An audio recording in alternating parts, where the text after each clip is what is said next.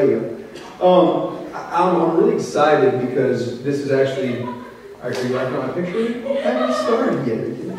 I'm really excited because this is my second time I've, I've been with y'all for D Now. I was here last spring and I was actually playing bass up here with the band. So I'm, I'm really excited about, about, about being here. Um, and, and I just want God to speak to us, and, and, and I want to take you this journey. Um, and, and y'all talked about being called serve in your small groups earlier, okay? And so we're going to kind of continue on that on that way. But the first thing I want I want y'all to look at the screen really quick. And how many raise your hand if that's ever happened to you where you don't know what? Okay, I'm not the only one. I mean, I, I, I go to the gym. Uh, believe it or not, I may not look like I go to the gym because I like to eat, but I do go to the gym almost every day.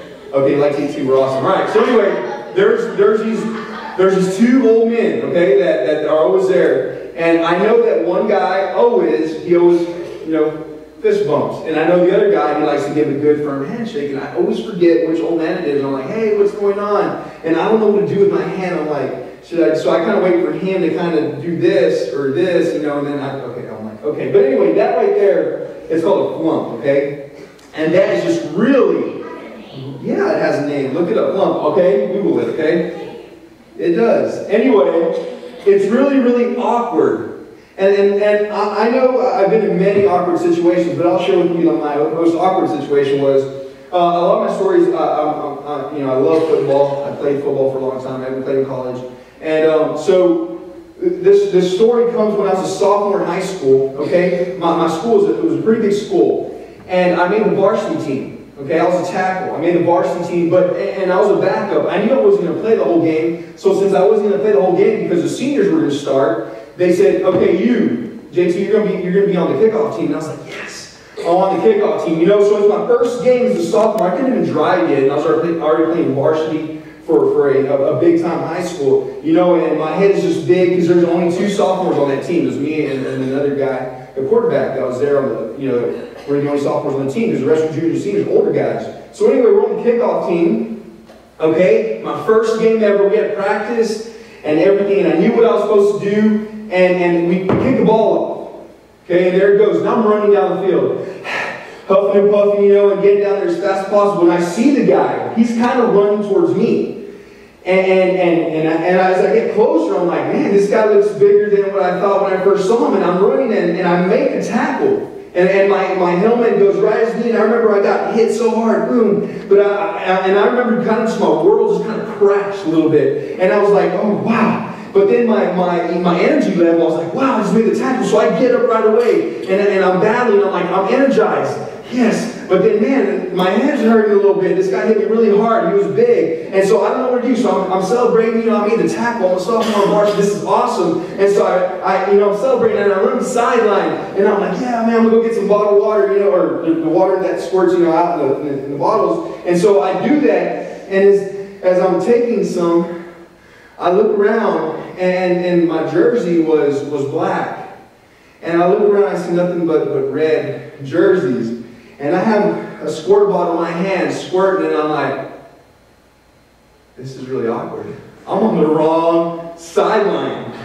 Like, I am totally on the wrong sideline, but you know, I don't want to be that awkward, so I want to kind of act like I know what I'm doing. And so I squirted, I'm still drinking. I'm like, man, how do I get out of this mess? These guys are juniors and seniors, and I'm only a sophomore, and my head just got rocked on this tackle. So I kind of, so then they finally kind of tell me, like, dude, what are you doing? And, and anyway, so I'm kind of scooting out, but by that time, there was a play going on already.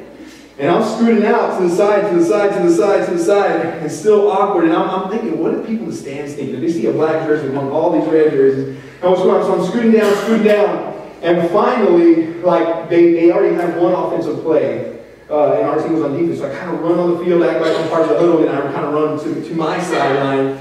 And one friend noticed, not that the coaches noticed, this was crazy. One friend noticed, and he's like, dude, where, where you go over there? And I was like, yeah, don't tell anybody. Just, just don't, don't tell anybody. And that, that was one of my most awkward, awkward moments ever. You would think that when I started going to the red sideline, somebody would have said, your sideline's over there. You know, you would have thought that, but I guess I was in my own world. I probably couldn't hear anything. Probably something was going on. And I already had some water, and I was squirting water in my face. as I went to the wrong to the sideline. So that was very, very awkward. But anyway, um, today we're going to talk about a story where, believe it or not, Jesus, Jesus had an awkward moment.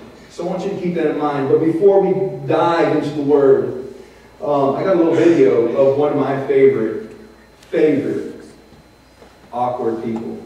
Okay? One of my favorite. Just watch.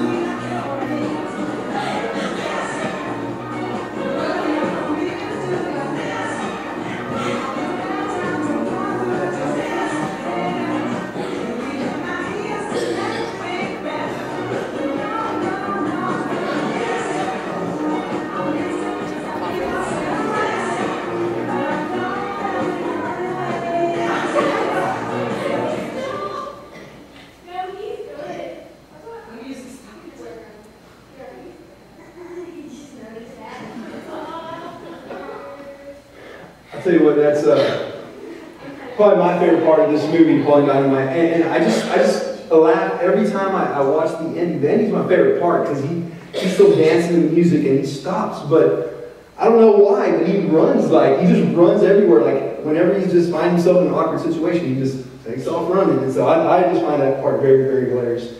But anyway, all right, um, can we get our Bibles out, please? So Luke 4, Luke 4.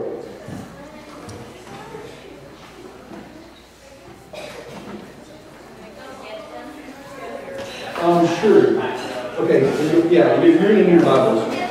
Time out, go get your Bible. Oh, sure.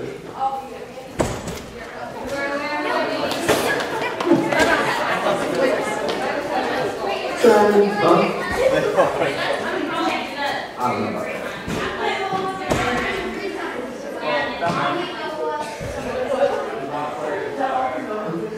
Yeah, that's about awkward moments.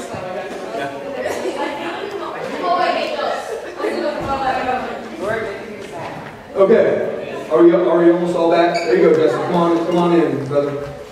You can share with somebody, okay?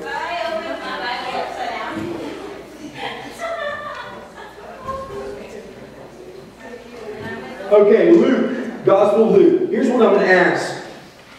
Um, we're going to be reading a, a, a long story, but it's very, very important that you stay tuned into the story, okay? Now, I'm going to read, and you may have a different version, but stick with me.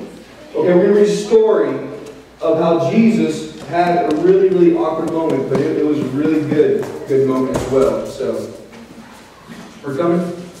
Is that it? You found your Bible. Okay, you should. Good? Okay, Luke, Gospel of Luke, chapter 4. Say yo if you found it. Yo. yo. All right, find verse 14. Say yo, you found verse 14. Yo. All right. So, it says, Jesus returned to Galilee in the power of the Spirit, and news about him spread throughout the surrounding district. And he began teaching in their synagogues and was praised by all. Don't close your Bible, keep your finger there. Jesus, at this time, Jesus at this time had just come off the mountain, okay, where he was tempted. He was tempted, okay? And he resisted temptation. And he came down full of the Holy Spirit. As soon as he came down from the mountain, he was preaching everywhere, and people were liking it. And he was starting, he was starting to get rock star status. And people were saying, man, I like the way that guy preaches. He has some good words, okay? So this is what's going on with Jesus. Now let's go to verse 16. And he came to Nazareth. Everybody say Nazareth. Nazareth. Everybody say Nazareth. Nazareth. And he came to Nazareth where he had been brought up. And as it was his custom, he entered the synagogue on the Sabbath and stood up and read. And the book, verse 17, and the book of the prophet Isaiah was handed to him. And he opened the book and found the place where it was written. Verse 18, The Spirit of the Lord is upon me because he anointed me to preach the gospel to the poor. And he sent me to proclaim the release to the captives and recovery of sight to the blind, and to set free those who are oppressed, to proclaim the favorable year of the Lord. Verse 20. And he closed the book, gave it back to the attendant, sat down, and the eyes of all the synagogue were fixed on him. Verse 21. And he began to say to them, Today the scripture has been fulfilled in your hearing. 22. And all were speaking well of him. I'm going to start again, verse 22. And all were speaking well of him and wondering at the gracious words which were falling from his lips. And they were saying, Is this not Joseph's son? Keep your finger there. So, story. Keep your finger there. Look.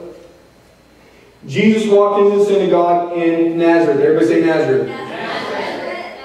And they it was custom. So he was he was getting rock, rock star status, right? In his teaching, okay? And so they said, hey, there's Jesus. He's a good teacher right there. So they said, hey, brother, uh, you preach today. It's your turn. So they gave him the scroll of Isaiah to read, and he read it. Okay? And when he read was a part, he's, it's a really good part. And all it says in that part is that, hey, those who are captives, Guess what? If you're captive, you're going to be free today. Those who are poor, guess what? There's hope for you today. There is. If, if, you're, if you're battling something, if you're going through something bad, guess what? It's only for a little time. There is hope coming today. And then not only did Jesus read that part, but Jesus also said, you know what? And it's through me, okay? Through me that it's going to be fulfilled today. And everybody in the synagogue, okay? by the way, if you, don't, if you don't know what a synagogue is, it's pretty much the, the Jewish kind of like a church. They would gather around just like this. Jesus would have kind of been right here. The only difference is Jesus would have been in the middle. The people would have been on the side, okay, while he's reading. And everybody in the synagogue said, Man, I like what I'm hearing. I love what I'm hearing. They're saying that guy can preach. The eyes, the eyes of everyone were on him and they said, Those words are amazing, they're awesome, and they were gracious. Everybody say gracious. gracious. Coming from his lips. Could you imagine? Just, just imagine that. Imagine if Jesus was to come right now, okay, and just start preaching. How many of y'all would actually pay attention if Jesus was standing here and start preaching? I would. Yeah, that's right. I would too. Put your hand down. How many of y'all think that this, the, the talk that Jesus would do would be amazing. All right, put your hand down. That was what was going on that day. He preached in the synagogue, and everybody was like, wow, that is awesome. Now, that's good. Now, here's for the awkward situation. Isn't there, when there's something's going good, doesn't there always have to be something awkward that, that happens? Something weird. I mean, just like last week in the Super Bowl, I mean, come on, the power went out. The biggest sporting event ever. 100 million people saw a power outage. All right, anyway, fail, that's right. Let's keep reading. So, make sure you're in Luke 4 again. I told you to keep your finger there. It's going to get really awkward. It might get a little confusing about what, what, what I'm going to read and what you're going to read, okay? But stay with me. Enter into the story with me. All right. Verse 23. Remember, we left off where everybody was saying that Jesus was awesome, awesome, preaching awesome. Okay, verse 23.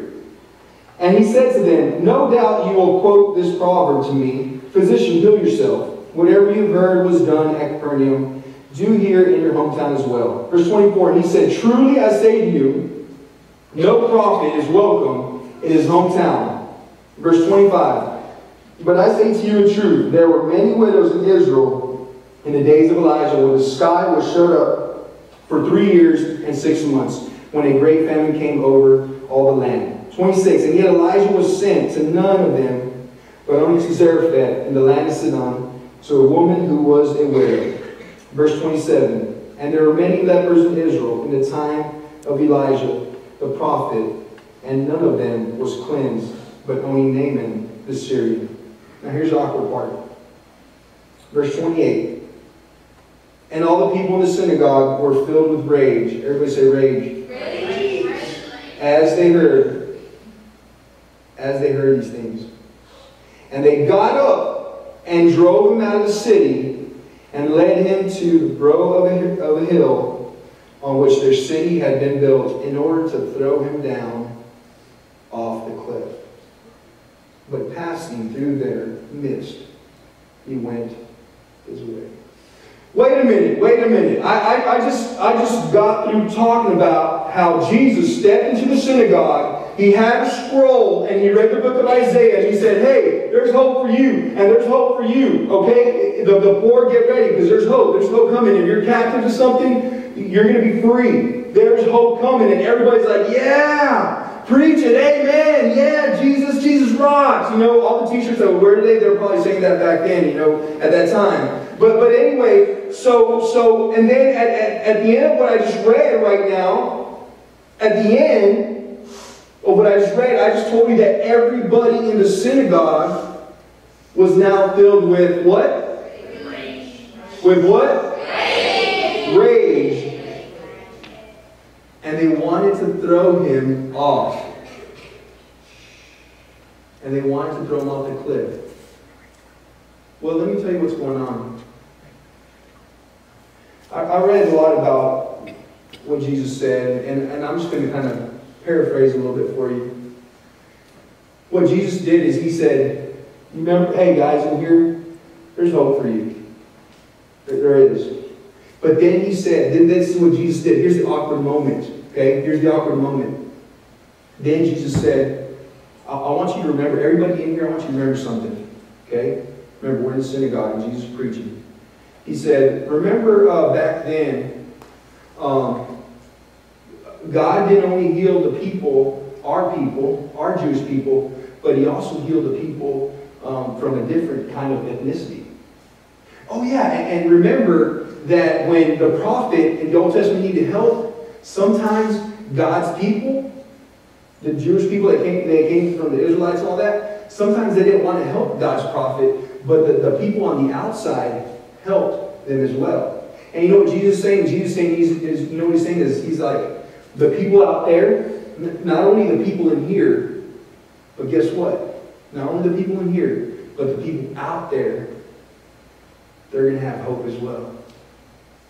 They're going to have hope. And not only is God for the people in this synagogue, but God is also, God is also for the people out there. Think about that for a moment. All the people in the synagogue, all the Jewish people were like, you know what? Jesus rocks. He preached an awesome sermon. I have hope one day. one day we'll be free. The, the Jewish people at that time, they, they were struggling because the Roman government would treat them really, really bad. Okay? They would just treat them really, really bad. Okay? And they, they wanted freedom from the Roman government. And when they heard Jesus say, We're going to have hope one day, that's awesome. And their hearts turned immediately when they heard Jesus say, when they heard Jesus say that people on the outside, people who were not Jewish, were also going to have hope. And not only they were going to have hope, but God was also going to bless them. Everybody say bless them. Look, uh, my next little picture. That is the um, that is the mount. Man, I should have written the name down. But in, in Israel, okay, that the tradition of where Jesus was going to be thrown off is right there. That little that little hill right there, that little cliff. Um, Jesus had an awkward moment. In one minute, maybe not a minute, maybe a little more. It doesn't really say. But in, in, in, in one scene, the hearts of the people were for Jesus, and the next minute they turned and they were against Jesus. And they took him up to this hill right here, okay? And they were about to push him over. Um, I'm going to read, uh, go back to verse, uh, let me see the last, verse 30. Luke 4.30. So, guess what? There's a miracle that happens right here. A miracle that happens in verse 30.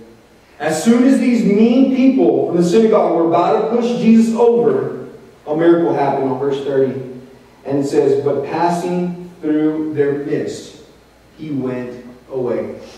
How crazy is that? Could you imagine that? If it was like a movie, I wonder if like the, the, the mean Jewish people in the synagogue, they were ready to push Jesus over, and a miracle happened. I wonder if they just froze like this, maybe awkwardly, and I wonder if Jesus just like, like walked by them and continued to do ministry. Or, or I wonder if Jesus did this. Like I wonder if it was like, like Jesus juke juking or something like that. When Jesus like, oh, you want to throw me off? Ooh, watch that. Oh, jukey there, and you know, just kind of went by these people. It's kind of like, kind of like how how Johnny Manziel did to the Sooners, but. But anyway, um, I wonder, is that too, soon? Okay, sorry, sorry about that. I wonder if, uh, sorry, Brian, uh. Um, anyway, I, I wonder if Jesus juked them or what he did. But anyway, anyway, there's a miracle that happened. Could you imagine that? One man, Jesus, a mob of angry, angry church synagogue goers. Okay, synagogue goers. They're about ready to push him over. A miracle happened where Jesus just walked through their midst. And he was able to do ministry. Let's look at the screen. Why did those in the synagogue want to kill Jesus? The Jewish people believed that God was on their side only. Only. You know, sometimes, sometimes in church, we as a group here, oh, here's a question Is God on our side? Is God on our side? Yes. One more time, is God on our side? Yes. All right, now, here's the crazy thing, too, is that the people that are outside these walls, okay, the people that are outside the state of Oklahoma, the people that are outside America, guess what? God is for them as well. God is for them as well. And the Jewish people, they got angry. They got angry. they got angry when they heard that other people, God was for them as well. The Jewish people did not like any, any other ethnicity outside their own. In fact, they had a name. They had a name for people who were not Jewish. Can somebody just help me out with that? Close, not scum. Gentile. Everybody say Gentile. Gentile. Say Gentile. Better. So they had a name for those outside of their ethnicity. Okay?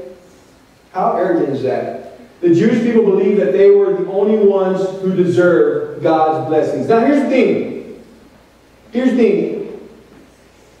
Does God bless y'all? Say yes. Raise your hand and say yes. Raise your hand and say no. So some of you may say, you know what? Uh, some of y'all may say, Mr. Mr. Preacher Talker Man, I, don't really feel like God blesses me because I see uh, sometimes, you know, my family struggles with money. Sometimes my, my, my parents fight. Sometimes I, I don't feel like, like God blesses me. But, but I'm going to tell you right now, you being in here is a blessing in itself. Okay? You, you being here, you being alive is a blessing. Okay? You are being blessed as you are here today, tonight, right here, right now. So you are being blessed. And here's the thing the Jewish people, they forgot the reason why they were being blessed. Everybody open your Bibles, please, to Genesis.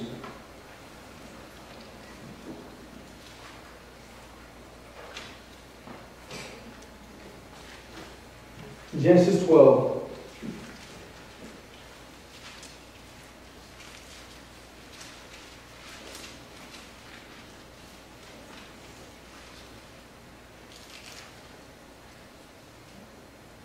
In stand up, please? Quietly.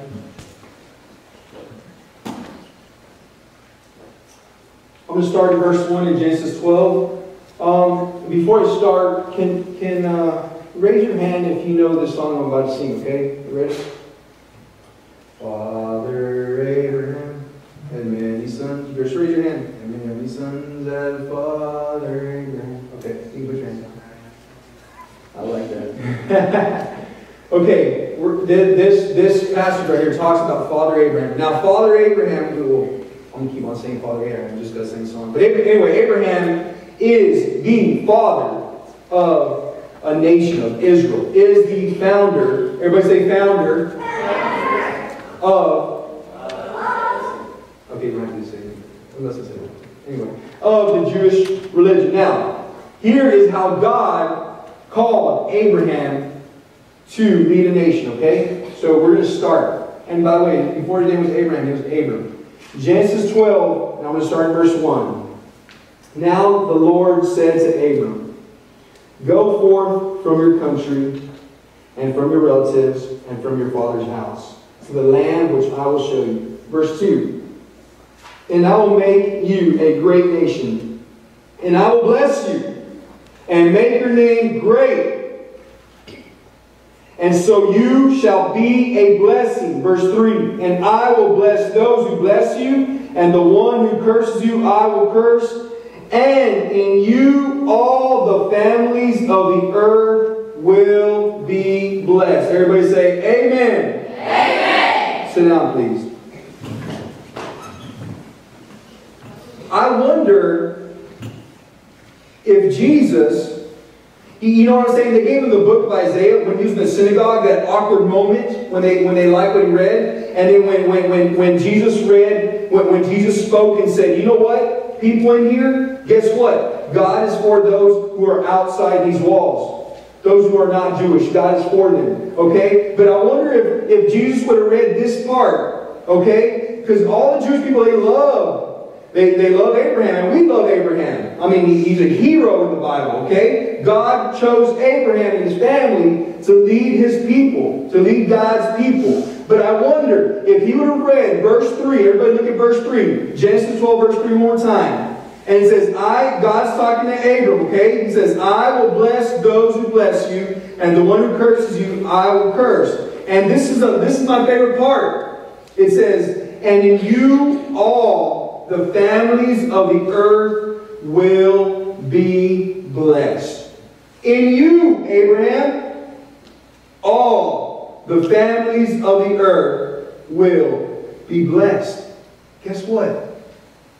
The people in the synagogue had forgotten why God was on their side and why God was blessing them. Because the Jewish people were to be blessed by God so that they can be a blessing to others who are not part of the Jewish tradition. Could you imagine that?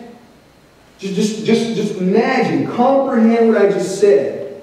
The Jewish people had forgotten that the reason God was for them and the reason God blessed them was so that they would go and bless others.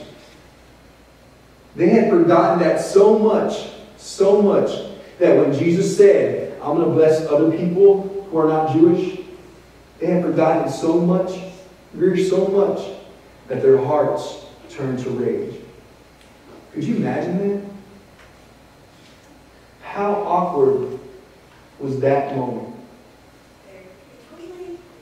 Totally awkward. It's like an awkward silence. Silence.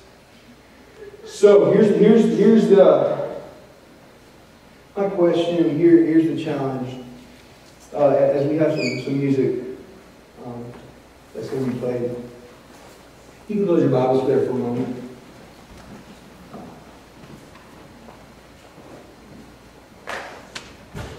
I you to, I want you to stay, be still.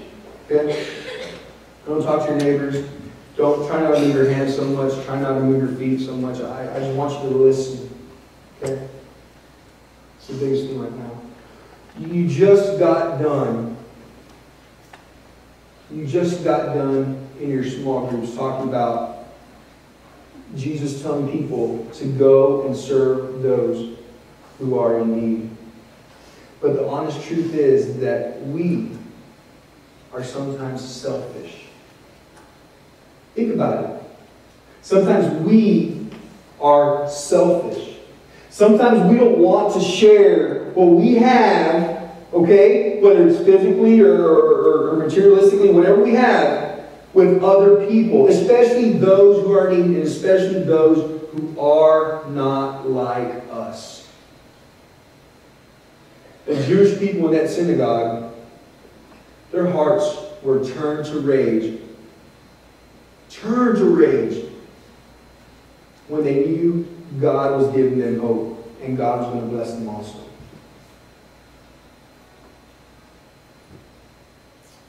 So the challenge is when you hear the words call to serve,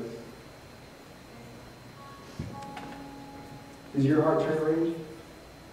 Did you feel like, you know what, I call to serve people, maybe people that I don't know, maybe people that don't even know who God is, maybe people that have a different religion, maybe people who are, are poor, maybe people who just who just hate in general. They hate other people. Jesus wants me to go and serve those people? Are you kidding me? Does your heart feel like that sometimes? I mean, does your heart feel like, no, there's no need? In fact, the, the people who are in need, those, those people who may be poor sometimes, you know, they probably put themselves in that situation. You know what I'm saying? So I'm not going to go out there. Is your heart like that?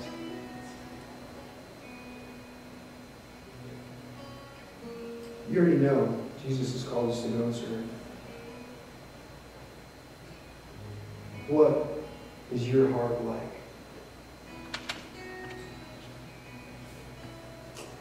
What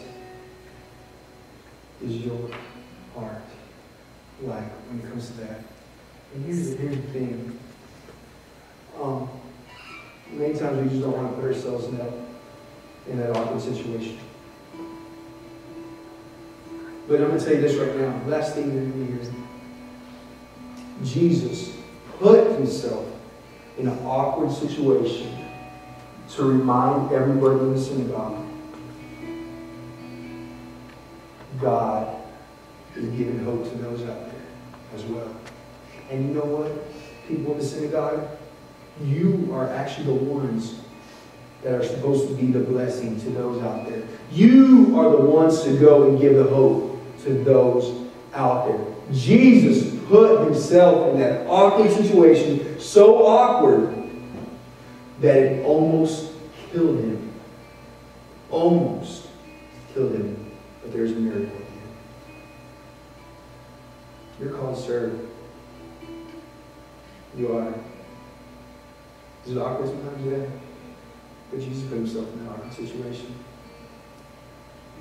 May it be bad sometimes, it might, might be bad. Yeah. Jesus almost died. You are called to serve others. We stand and worship.